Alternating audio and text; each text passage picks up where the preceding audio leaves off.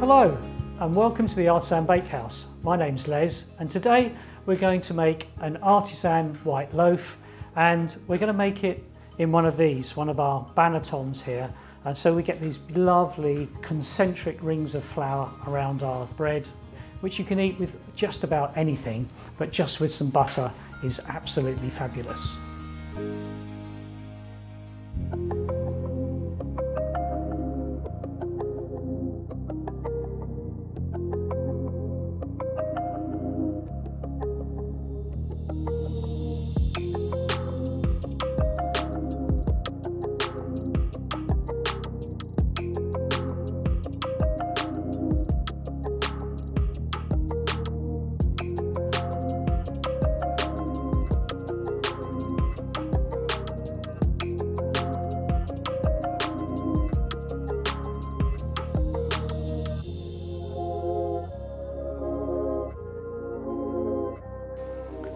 One side and we're going to use our dough scraper. Now if you haven't got one of these and you want to make a lot of bread then I would really suggest you buy a couple of these because you can use them in tandem, help scrape the dough from one to the other but they're really useful for working the dough round the bowl so just keep working that in, make sure you haven't got any dry flour.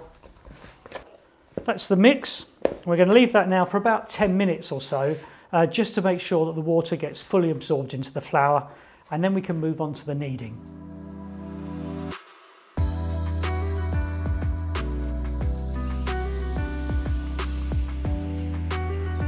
Just going to get a little bit of olive oil on my fingers. Now today we're going to use a kneading technique called stretch and fold in the bowl. So we're going to punch it down with our fingers and then we're just going to go to the far side of the bowl lift up a portion of the dough, stretch it over to the front and push down with your knuckles. Turn the bowl ever so slightly, lift another portion of dough at the back into the front and we're going to work this round. So we're going to do this about 10 times. It'll feel sticky, but don't worry, just go with it, up and over. So we want to do this 10 times if we can, up and over. And you'll get plenty of practice at this because we're going to do this four times at about 10 minute intervals.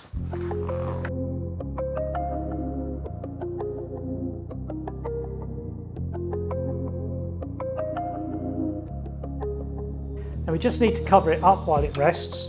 So I've got a, a shower cap here, which we use, and you can use them over and over again, and they give a nice protection to the dough just to stop it from drying out.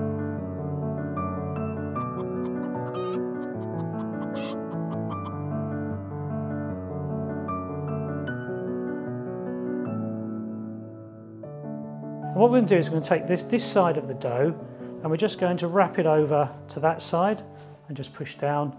And then we're going to take the other side of the dough and push down over there. So it's almost like a book. And then we're just going to press down like that. And then what we're going to do is go to the far side of the dough.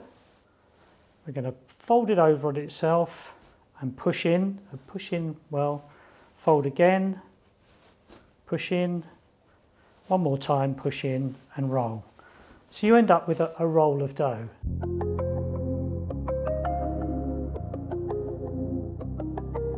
And then be really generous with the flour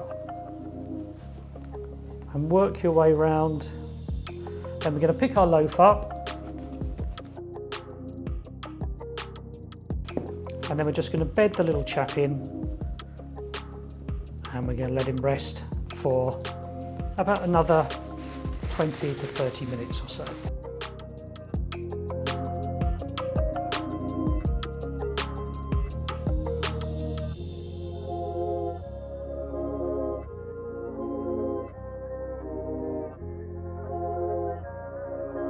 Okay, so there we go. I'm just going to go one diagonal across there. You can see it's starting to open up and we're going to pop this now in the oven slide it off like that, shut the door, and then we're going to add some steam. I want to try and create a moist environment for the dough. There we go.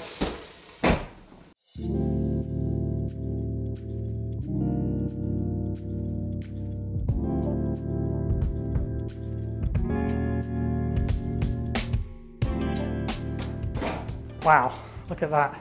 Fantastic oven spring beautifully baked. So now the best thing to do is just let it cool and then you can slice into it with that nice crunch, slather it in butter and really enjoy it.